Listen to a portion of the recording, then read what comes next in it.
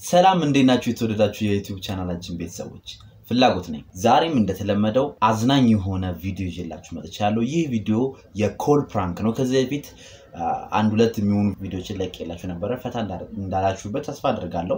አንዳንድ ሰዎች comment ላይ እንደወደዳችሁት ነግራችሁ ነበረ። ከዛም ተነስቼ ሌላ የ call prank ሰርቼ የአሁኑ የገና በዓል ላይ በስልክ ነው call prank ኡን የሰራሁት እና ለእናንተ ለማቅረብ ይዤላችሁ መጥቻለሁ። prank ኡን እንደምትወዱት ተስፋ አድርጋለሁ። ከወዳችሁት like ማድረግ እንዳትረሱ። ማን አንተኛ አንተ like እንደማታደርግ መጀመሪያ አውቅ ነበር። ይህን prank ኡን ራሱ ስሰራ like እንደማታደርግ አውቀው ነበር፣ ግን ወደ በግድ like ታደርጋለህ። እንዲሁም like ካላደረግ ቪዲዮ አይጀምርም።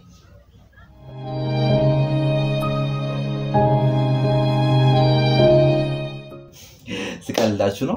like ማድረጋችሁ እንዳትረሱ። እንዲሁም subscribe አድርጉና የእኛ ቤተሰብ መሆን ይችላሉ። ኦሪጂን ሀበሻ subscribe ማድረጉን አይርሱ። ወደ call prank ኡ። hello፣ ሰላም ጤና ይስጥልኝ። እንደምን አለሽ እህቴ? ከ Sophisticated ራዲዮ ነበር የምንደውልልሽ። ስልክሽን ከጓደኛሽ ነው ያገኘ ነው። እንኳን ለገና በዓል በሰላም አደረሰሽ። በመጀመሪያ እንኳን አብሮ አደረሰ። ያው በዓልን በማስመልከት አንዳንድ ጥያቄዎች ይኖሩናል። ሶስት ጥያቄዎች ናቸው። ለእያንዳንዱ አምስት አምስት ሰከንድ ይኖርሻል። እሱን ከመለሽ የመቶ ብር ካርድ ሽልማት አለ። የመቶ ብር ካርድ ሽልማት ይኖርሻል። ጥያቄዎቹን ከመለሽ ወደ ጥያቄዎቹ እንግባ። አሁን hello hello። አይ ሰምተኛል። እሺ ሶስት ጥያቄዎች ናቸው። የመጀመሪያውን ልጀምርልሽ ነው።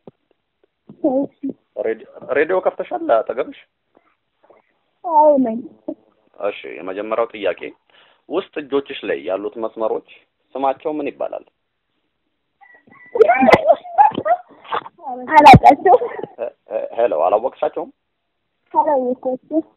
እሺ ወደ ሁለተኛው ጥያቄ እንግባ። ሊገባ ስል ሲወጣ ፈትልኮ የሚያመልጥ ነገር ምንድን ይባላል? ምን ሊገባ ስል ሲወጣ ፈትልኮ የሚያመልጥ ነገር ስሙ ምንድን ነው? የአማር የአማርኛ ፍቺውን ነው የፈለኩት። ምን አልገባኝም። አንዴ ደግምልሻለሁ። ሊገባ ሲል ሲወጣ ፈትልኮ የሚያመልጥ ነገር ምን ይባላል? ዶሮ ዶሮ ዶሮ አልተመለሰም ይሄኛውም። ስለዚህ ሁለቱን አልመለስሽም። አንድ ጥያቄ ይቀርሻል። እሱን ከመለሽ ያው መቶ ብር ነበር ሀምሳ ብር ይኖርሻል ማለት ነው። እሺ ወደ ሶስተኛው ጥያቄ ስንሄድ ሮም ላይ በተካሄደው የሻሞላ ውድድር እንጥሉን ያጣው ኢትዮጵያዊ ኳስ ተጫዋች ማን ይባላል? hello hello አምስት ሰከንድ ነው ያለሽ። ቶሎ ብትመልሽልኝ ጥሩ ነው። እሺ ማለት ጥያቄው ምን ድገም። አንዴ ልድገመው። እሺ ሮም ላይ በተካሄደው የሻሞላ ውድድር እንጥሉን ያጣው ኢትዮጵያዊ ኳስ ተጫዋች ማን ይባላል? ሻሞላ እንትን ላይ እንዴት የኳስ ተጫዋች ሊገባ ይችላል? በረባርሶ ይባላል ኳስ ተጫዋቹ።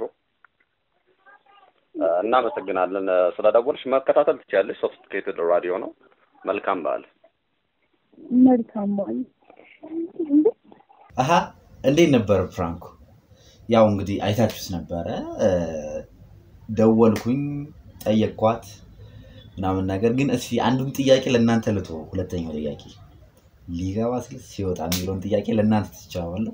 መልሱን comment ላይ ማስቀመጥ ትችላላችሁ። ከወዳችሁት ይህን ቪዲዮ like ማድረጉን አትርሱ። ቀጣይ እንደዚሁ አይነት አዝናኝ የሆኑ ቪዲዮዎችን እለቅላችኋለሁ። እወዳችኋለሁ።